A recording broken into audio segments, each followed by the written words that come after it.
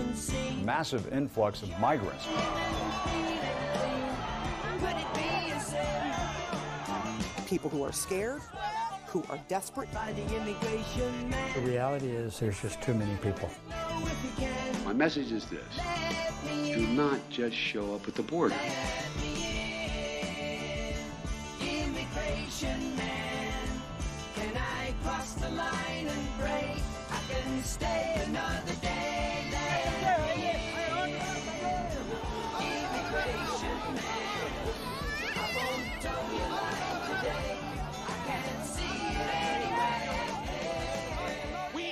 United States of America. None of us would have our children in that position. They are human beings. He was with his immigration face. Who gets to be part of the American political family? Who can become an American?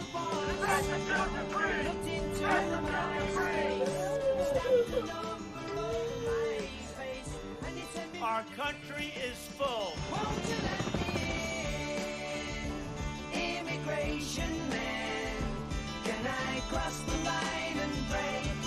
How can anyone be anti immigrant? We are all immigrants. with my immigration form. It's big enough to keep me warm. The glory of America is the melting pot.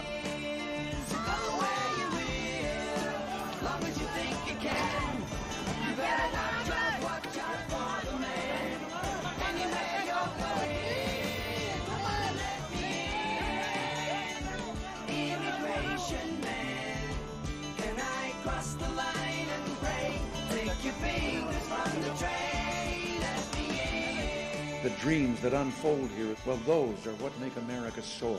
People willing to risk everything for the dream of freedom. We are and always will be a nation of immigrants. I'm Fareed Zakaria. Welcome to a special hour on immigration. A major surge of border crossings That number could double in the coming days. reaching emergency levels. It's no longer just a partisan talking point or a hyperbolic claim on Fox News. The number of people arriving from other parts of the world have been staggering. The country has been facing a surge of migration, the likes of which has never been seen. Streams of people every day, every hour. A record 2.4 million migrants were apprehended at the border last fiscal year. That shattered the record set the previous year and nearly equaled the total population of Chicago. And the clock is ticking. And officials on the border are sounding the alarm. Hundreds have been arriving every day to some border cities. Sometimes tens of thousands of migrants in a single month. All of our shelters are already at capacity. Homeless shelters have been overwhelmed. This is not even about politics, it's about humanity.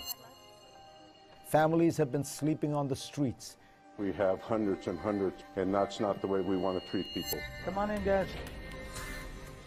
These border towns are no strangers to big migrations, but they have never gone through anything like this. The numbers at the border went down in recent weeks after more restrictive measures were introduced, but the future is still very uncertain.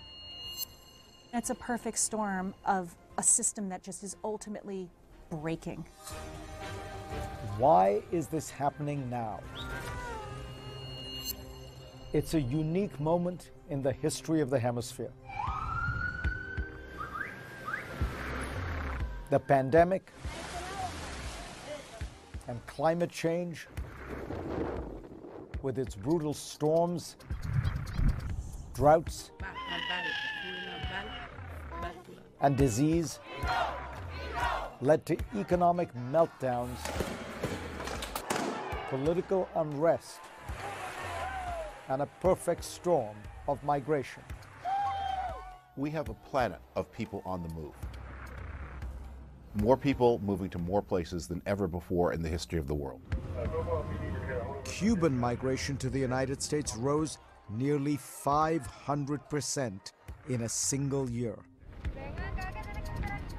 Colombian migration rose over 1,100%.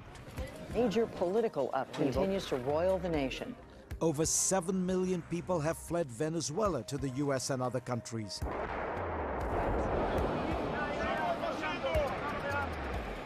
That is close to the exodus from war torn Ukraine. These are people who all had families, had lives, had jobs, and their country fell apart. Then they take the journey, and the journey in itself is a life or death experience. One year old Brenda has no shoes.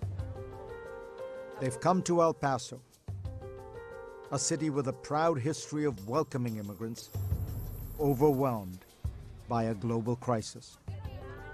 The leadership in El Paso, the mayor, was forced to declare a state of emergency there. They've come to small towns like Eagle Pass, Texas, which saw more migrants in one month than it had total residents. Even several hundred coming into a town can really have an impact on sort of the psyche of the people that were there.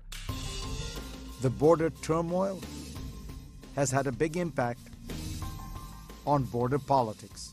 A shocking twist came out of the border region. Zapata County in Texas had not voted Republican for president since the 1920s. Good luck, Jada. Thank you so much. How are you doing? Mitt Romney lost there by 43 percentage points. For the first time in 100 years? Some blue went red. But Donald Trump won in 2020 President Trump cared about the border. by five. County after county, voters have moved 40 points away from the Democrats. Republicans have made big gains all along the Texas border. Communities like Reeves, Val Verde, Frio, LaSalle, Jim Wells, Kleberg flipped from blue to red. The fact that we're even talking about South Texas as a competitive area of the state of Texas is a real shift. It's a trend we've seen repeatedly all over the world. Anger over immigration leads to hard right populist power. Back in 2015, Europe witnessed its largest refugee crisis since the end of World War II. Triggered by the brutal civil war in Syria. European nations took in millions. It was a courageous humanitarian action, but it sparked a major political backlash. The British people have spoken, and the answer is we're out. The UK officially leaves to leave the European Union, to go it alone. We've got our country back. There was Brexit in Great Britain, She is anti-immigration and has been an admirer of Vladimir Putin. and Marine Le Pen with growing tallies in France. Meloni started her political career in a neo-fascist party. Just last year in Italy, a party descended from Benito Mussolini Her platform is restrictions on migration. formed the most far-right government there since World War II. A turning point in Swedish politics. They were formed by the Nazi movement. Blame liberal immigration policies for the country's problems. In Sweden, a party with neo-Nazi roots Issues like crime, immigration, front and center. won the second most seats in the country's parliament. I've just received a call from Secretary Clinton. In the United States, we saw Donald Trump use the issue to get himself to the presidency. Stop the steal. America soda! and then began busting up all kinds of institutions that affected the lives of Americans. You never know until it's too late. If liberals won't defend the borders, fascists will. Disturbingly, America seems very open these days to an anti immigrant message. More than half of Americans believe there is an invasion at the border, including 40% of Democrats. And while three in four once believed that immigrants were important for America's identity, just over half now think that is true. And with 2024 fast approaching, two of the most politically savvy governors have honed in on this issue.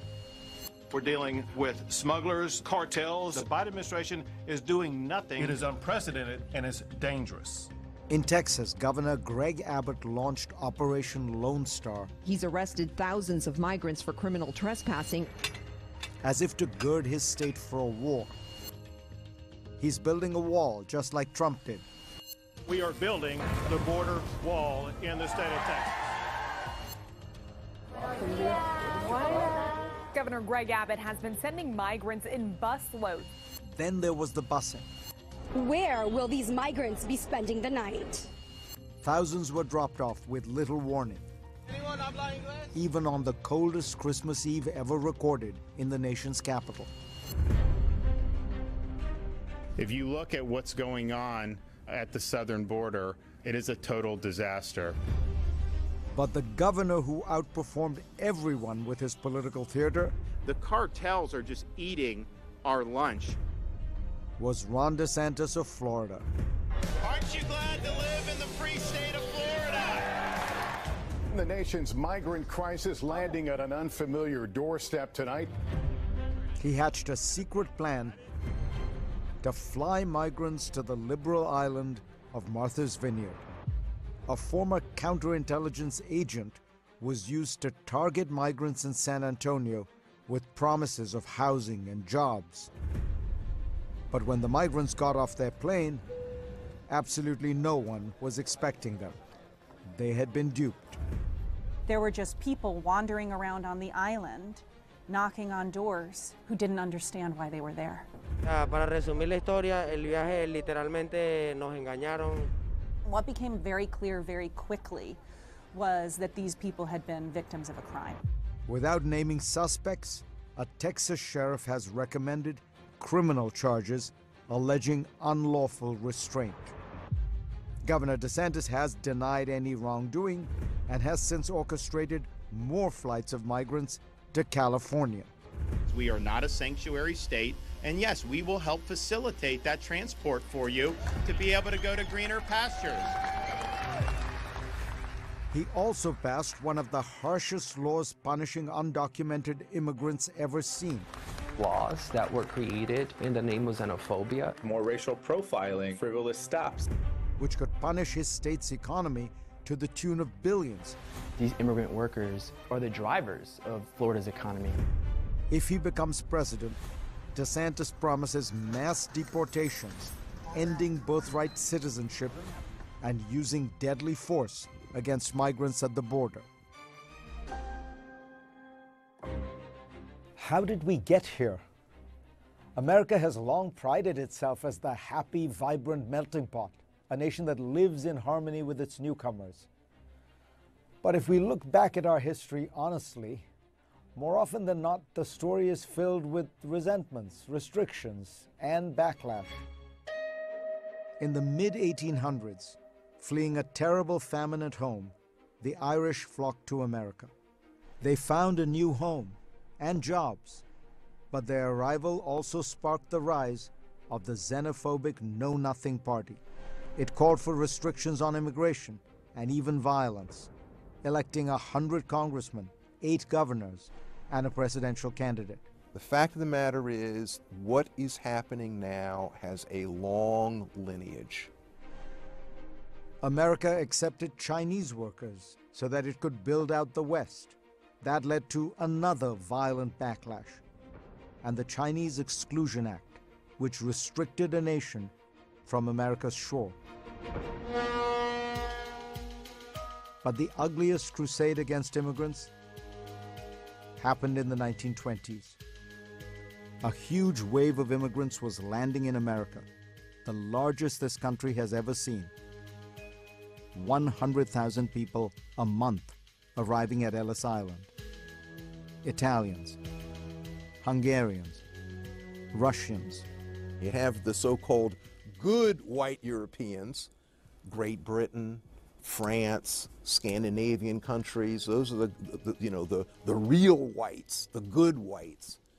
But then you have these Jews from Eastern Europe, and you have the Italians from Italy, Southern Europe. They were actually viewed as different races. In the 19th century, Hungarians a race, Czechoslovakians a race, Jews a race, Irish a race. They were whitish.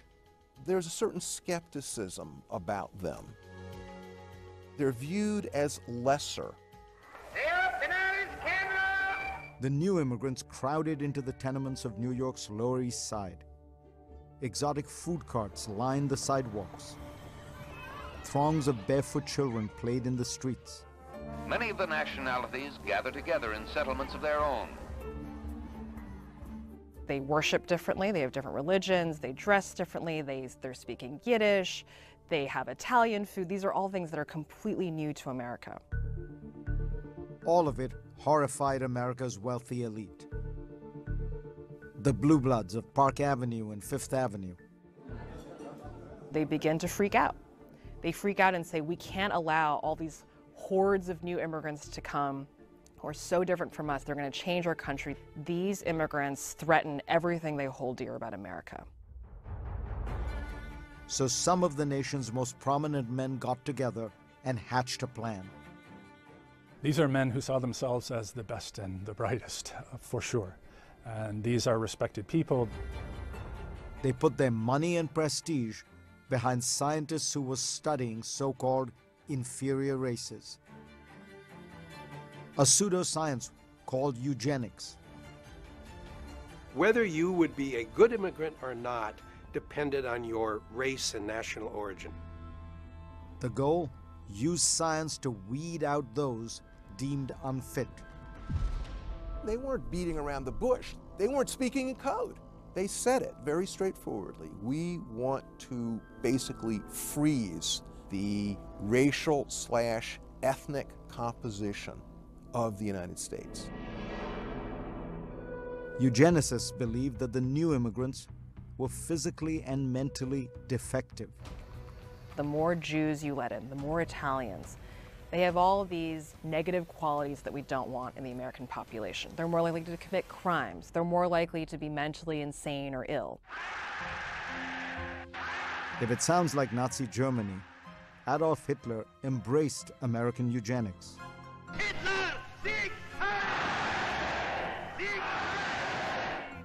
Adolf Hitler had some real praise for the United States. Adolf Hitler says the United States is really on the money and we can learn from them. Eugenicists decided it was time to go to Washington. They presented evidence to write a new immigration bill, the harshest the country had ever seen. They have expert testimony, they have studies to show, and they basically say to Congress, it's not just you being prejudiced or racist, not wanting these immigrants. There is science to back this up. We don't want these people from other places coming. Come on. The law passed. The Immigration Act of 1924 sharply cut immigration from across the world, putting rigid quotas on so called undesirables. They shut the door and reduced immigration to the United States by 97%. The Immigration Act of 1924 made America a different country. It would get whiter and more monocultural. Free at last! Free at last! Thank God Almighty! We are free at last! Until a new revolution that changed everything. That story next.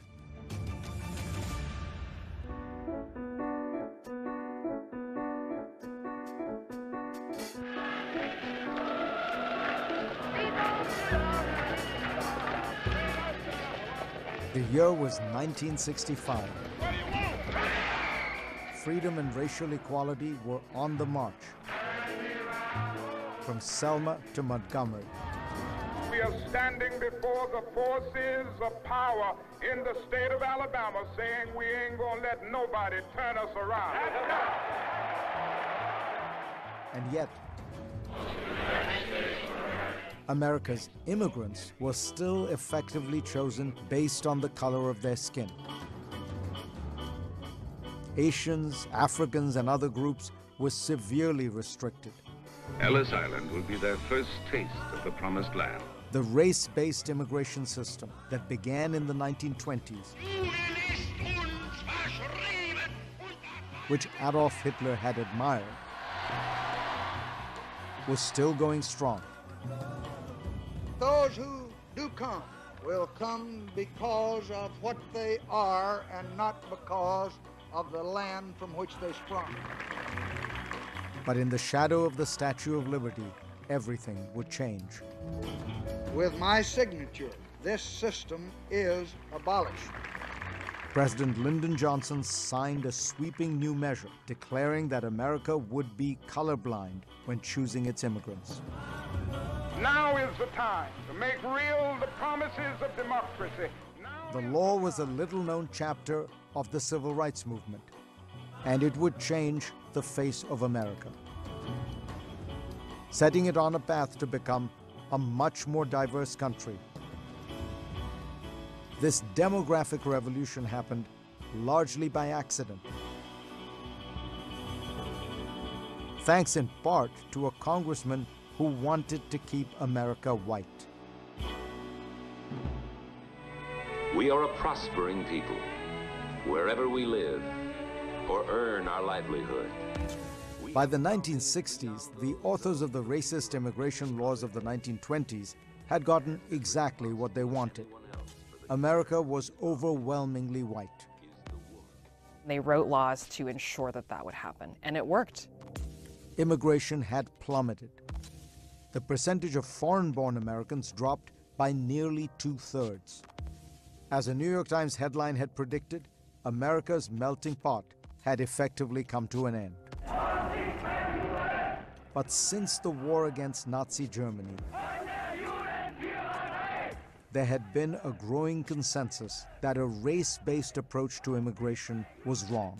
The Nazis devised their own quota system. Because of the awfulness of Hitlerism, the awfulness of the Nazis, they say, this is terrible. We need to rethink this. We need to redo this. I shall ask for adequate and decent law for displaced persons in place. President Harry Truman despised the country's immigration laws. All of them have been behind barbed wire for years. They discriminated against post war refugees, shutting many of them out. Even Holocaust survivors. President Truman signs a new bill. He signed a landmark law letting in more refugees. Arriving in the USA is the first batch of displaced persons. But he could not get rid of the race based immigration system. President Eisenhower was also not a fan of the old laws. The calculated pressures of aggressive communism. Because for him, they damaged America's image as it fought the Cold War. Soviet Russia parades its military strength. You had communist governments that were saying to their peoples, look, the United States is a racist country. And we were very concerned about sort of losing a propaganda advantage. DiMaggio connects. What's more, earlier immigrant groups like Italian Americans, once said to be racially inferior, what is America to me? were becoming part of the American family. We in America are immigrants. A new idea was born. A people welded from many nations and races. America, the land of immigrants. We take it for granted that that's how we've always imagined ourselves. That's new at this time. My country welcomed so many sons and daughters of so many countries and gave them a fair chance and a fair opportunity. One of the early champions of that new idea was John F. Kennedy. He was part of the immigration story. I mean, the Kennedys, Irish immigrants. As a senator, he wrote a classic essay on the topic. No distinction is made between the native born and the naturalized citizen. And he called for an overhaul of the discriminatory immigration laws. We want to go forward. Pushing for fair immigration was not only right in Kennedy's view, it was good politics. In 14 weeks of campaigning, he attracts enormous crowds. since recent arrivals were gaining political clout. Kennedy's support for immigration Ask not. helped vault him to the presidency. So help me God. In July of 63, he submitted an immigration bill to Congress All people can make equally good citizens. promising equal treatment of all peoples.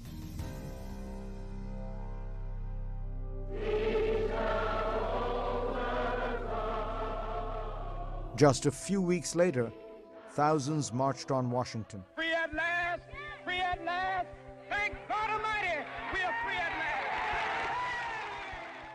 time when there's protests saying we've got to have a country founded on the equality of all people. What do we want now? We've said that in our documents before, but now it's time to really live it out. But Kennedy's immigration bill stalled in Congress. President's car is now turning onto Elm Street. And then that November, It appears as though something has happened in the motorcade route. Something tragedy struck. the President of the United States is dead. Vice President Johnson was suddenly thrust into power. I need your help. I cannot bear this burden alone. He urged Congress to honor the fallen president. No memorial oration or eulogy could more eloquently honor President Kennedy's memory than the earliest possible passage of the Civil Rights Bill for which he fought so long. I urge every American to join in this effort. Congress responded, All men are created equal. passing the Civil Rights Act, The most sweeping civil rights bill ever to be written into the law. the Voting Rights Act, Today is a triumph for freedom. Medicare, and Medicaid. A nation that was built by the immigrants of all lands. Immigration was next on the agenda. We should not be asking, in what country were you born? But the president faced a big obstacle. Congressman Michael Feighan of Ohio. Our subcommittee held executive hearings this morning to Feighan was a conservative Democrat who led the House's main immigration committee. Where's my immigration bill, God damn it? When are we going to get a bill out? Our friend Feighan is still sitting on it. He was a staunch defender of the old quotas, determined to preserve America's whiteness. Now been misinterpreted. Southern segregationists like Strom Thurmond joined him, and other opponents of the bill warned of impending doom.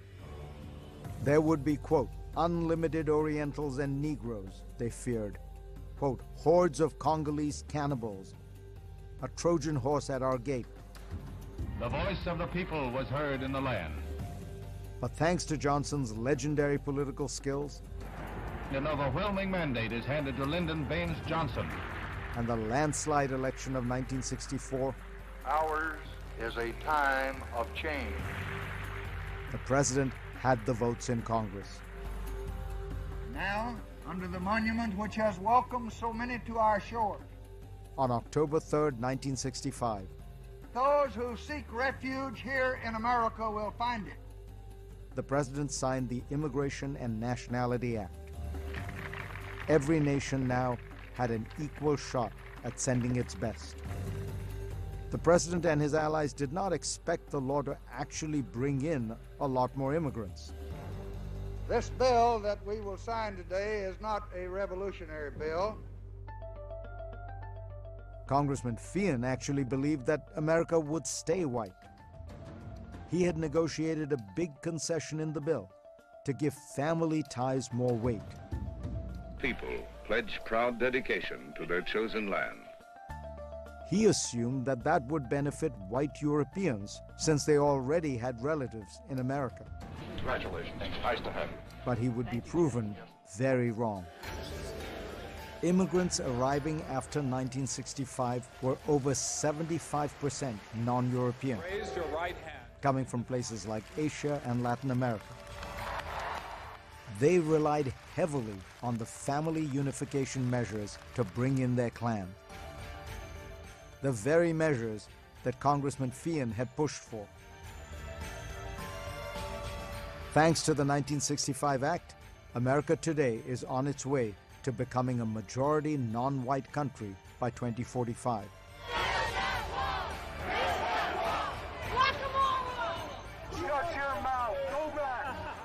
That colossal demographic shift If you don't like it, met a wave of resentment. The president wondered aloud, why are we having all these people from shithole countries come here?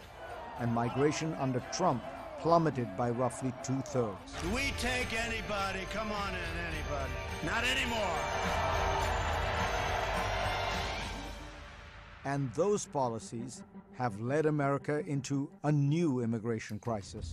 Seven million workers vanished. Desperate for people willing to go to work. We've never had this many job openings ever in history. One hardly anyone is talking about. Two job openings for every job seeker. It's a big problem all over the country. It's actually been fueling inflation. Which could take money out of your wallet. The big question now when will prices start dropping? That's coming up next.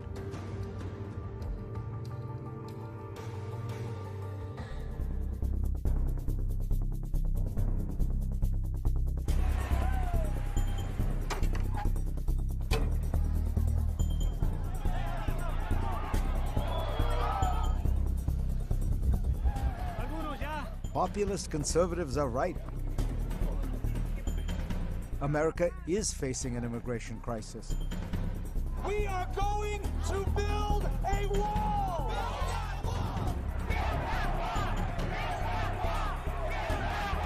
Our country is full. But they're hung up on the wrong crisis. The real disaster isn't that too many immigrants have made it to the U.S. You are now U.S. citizen. Congratulations. It's that we aren't letting in nearly enough. Fertility rate in the United States fell to yet an all time low. More and more American women are deciding not to have kids at all. America is in the middle of a baby bust. The birth rate has fallen dramatically. It's below uh, replacement level. Not enough Americans are being born to replace those who have died. Historically, the safety valve for the U.S. has been immigrants. But starting under President Trump, immigration to the U.S. plummeted, cutting us off from the workers we desperately need. Growing fears of a recession and fanning the flames of economic decline. A massive labor shortage. The highest inflation in 40 years. The clock is ticking on Social Security. America has three options. You can either have more babies, which many experts say just won't happen, or you can welcome more immigrants. I hereby declare on oath.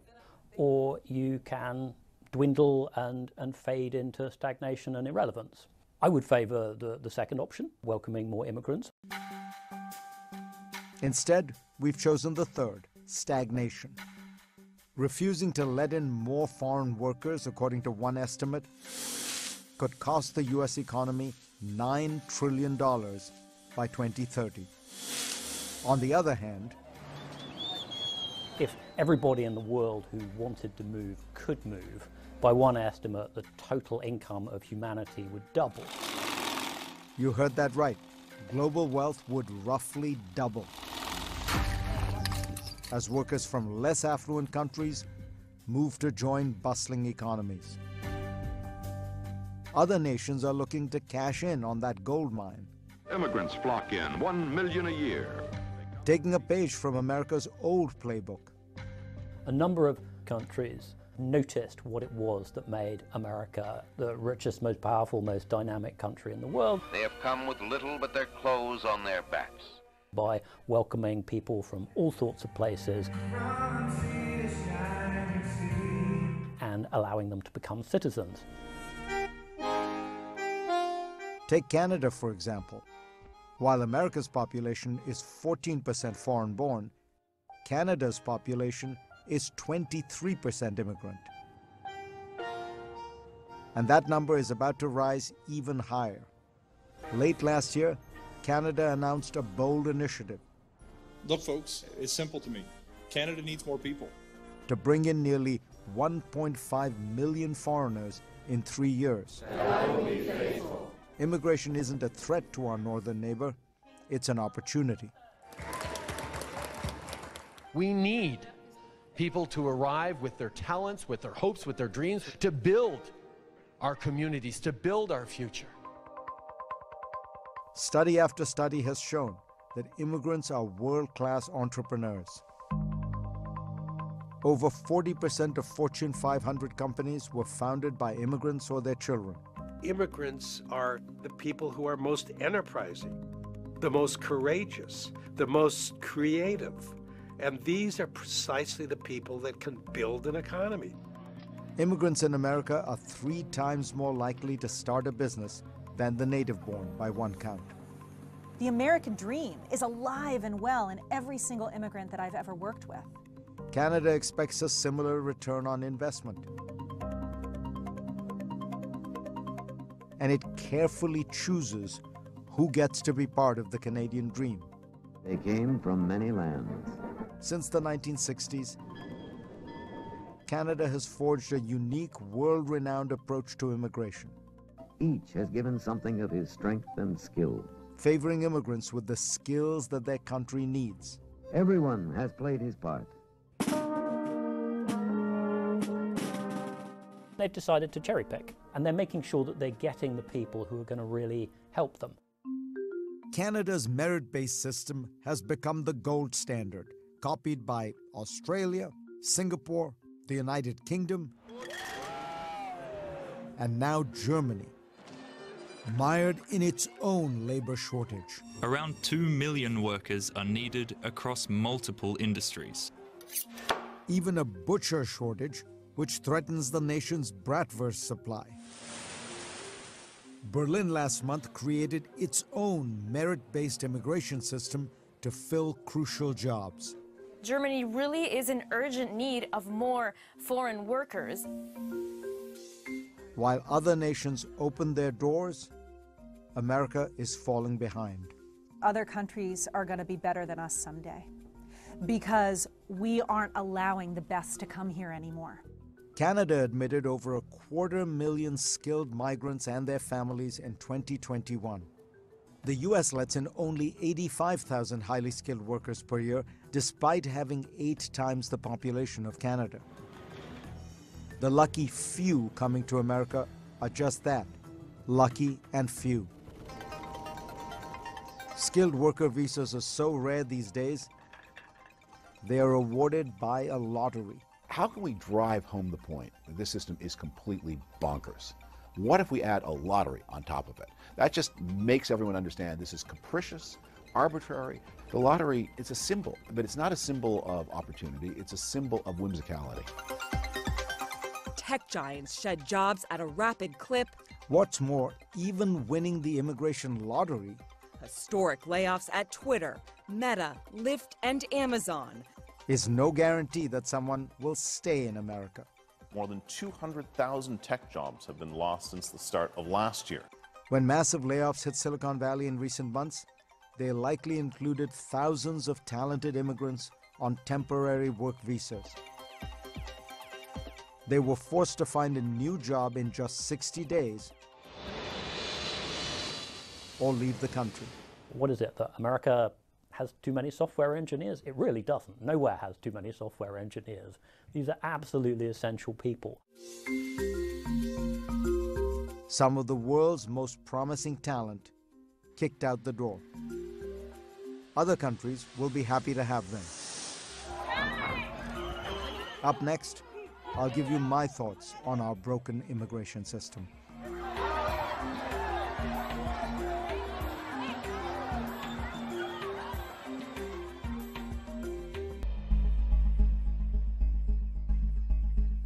And now, some concluding thoughts on immigration. Ten years ago, the last serious effort to fix America's broken immigration system collapsed. In April 2013, a bipartisan group of senators, the so called Gang of Eight, tried to push forward a package that included the usual sensible reforms that have been talked about for years. It included more border protections and sanctions against employing undocumented workers in the future, combined with a path to citizenship for currently undocumented workers. This debate goes to the heart of who we are as Americans. Six years earlier, an even more ambitious and sensible reform effort, spearheaded by Senators Orrin Hatch and Edward Kennedy and endorsed by President George W. Bush, also collapsed. The logjam on immigration is one of the most tangible results of our current polarized political climate. Even those who supported these efforts in the past, like Senator Marco Rubio, today distance themselves from any such policy proposals. None of this will change until one central reality changes. America's current immigration system is broken. The border is in turmoil. Millions of people are gaming the system.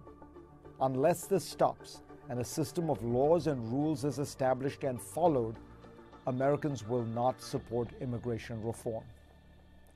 The uncontrolled waves of migration hitting the southern border are making a mockery of the idea behind political asylum.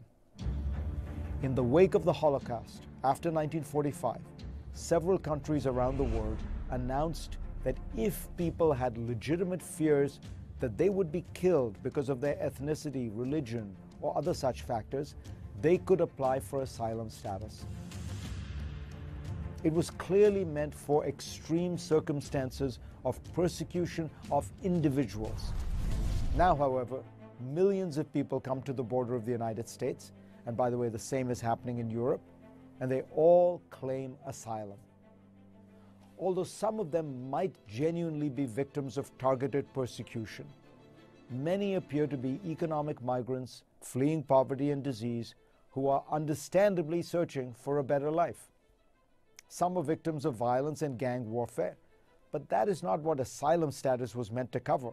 After all, the same was surely true of earlier waves of migrants from, say, southern Italy or Ireland. Today, there seems to be no real difference between most asylum seekers and simple economic migrants.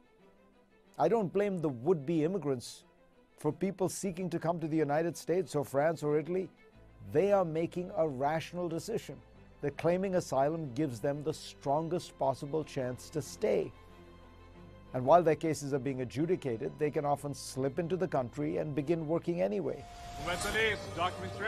This is not the only part of the immigration system that is failing. The bureaucracy devoted to it is understaffed and overworked. President Donald Trump deliberately jammed it up even more to the point that routine business visa applications from countries such as India can take months and months. Some students cannot enter the United States even after getting admission and full scholarships. President Biden deserves credit. He's trying to fix things. He's expanded an existing parole program to include Cuba, Haiti, and Nicaragua, in addition to Venezuela. He's been criticized from both the left and the right, and in this particular case at least, it's a sign that he's doing something right. But he needs to do more. Interception. In December, Prime Minister Rishi Sunak, the son of immigrants, announced a new policy for Britain that more directly acknowledges that the asylum system is broken. And he's followed up by putting forth legislation to bar asylum seekers who arrive illegally in small boats.